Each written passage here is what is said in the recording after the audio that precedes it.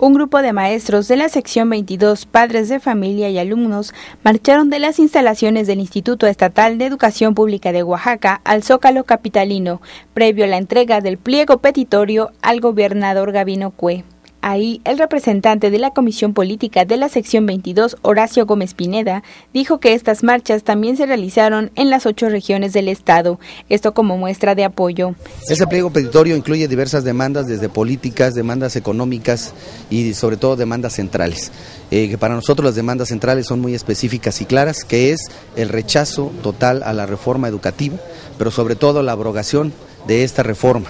Agregó que esperan que el gobernador apruebe cada uno de los puntos que se incluyeron en el pliego petitorio. Con un pequeño mitin y gritos de consignas, el grupo de mentores repudiaron la reforma educativa y pidieron que el plan para la transformación de la educación de Oaxaca sea aprobada. Finalmente, Gómez Pineda señaló que confían en que el gobierno de Gabino Cue se ponga a favor del gremio magisterial. Estamos sabedores de que el gobierno estatal dará respuestas a algunas demandas de estas, pero tiene la obligación de seguir y abriendo los canales de interlocución para que nosotros a nivel nacional sigamos manifestando esta posición de la sección 22. Con imágenes de Antonio Coronel informó para MBM Televisión Ángeles Pereda.